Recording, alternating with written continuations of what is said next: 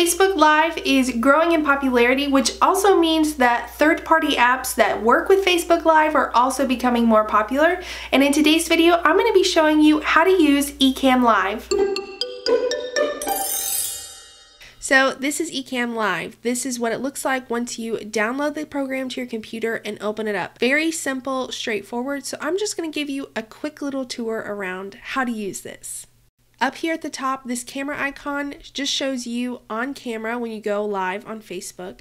The camera allows you to share your screen. So if you want to show someone a program, you want to share your browser, walk through a training, anything like that, this is how you can make that happen. Or this third icon lets you actually play a video file during your Facebook Live. So down here in the left, you'll see enter a description. That's what people will see in the caption during your Facebook Live. Then over here, you can actually specify if you want to go live on your profile, your page, or in a Facebook group that you are an admin of. You can also schedule your lives ahead of time or just go live whenever you want. One of my favorite features about Ecamm Live is you can add overlays to your Facebook Live. So I had created one previously and once you create them, it can save it for you.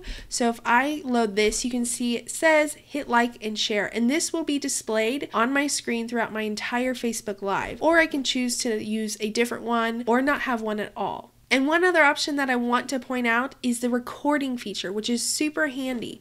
Ecamm Live will actually record all of your Facebook Lives and save a file to your computer. This is just a quick introduction to Ecamm Live. If you want to see all the features and options, I'll make sure to post a link to their website below.